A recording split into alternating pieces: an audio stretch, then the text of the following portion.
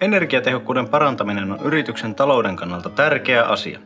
Esimerkiksi painelmajärjestelmissä on suuret säästöpotentiaalit ja hukkalämmön voi hyödyntää monipuolisesti.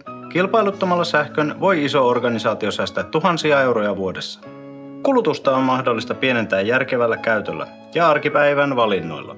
Käytännön apua tarjoavat myös tekniset ratkaisut. Me tarjoamme asiakkaillemme energiatehokkuutta edistävää asiantuntija- ja mittauspalvelua. Asiakkaan tarpeiden mukaan räätälöidyt palvelumme kattavat rakennusten sekä prosessi- ja tuotantolinjojen lämpökamerakuvaukset, paineilmaverkostojen vuotokartoitukset sekä motivamallin mukaisesti toteutetut yritysten ja kiinteistöjen energiakatselmukset.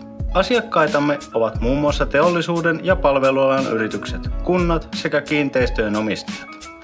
Asiakkaillemme tarjoamme puolueetonta arviota kohteen energiatehokkuudesta, laskelmia energiaratkaisuiden kannattavuudesta sekä ehdotuksia energiasäästötoimenpiteistä, jotka ovat hyödynnettävissä esimerkiksi kehitystoimenpiteiden ja investointiesitysten perustana. Ota yhteyttä.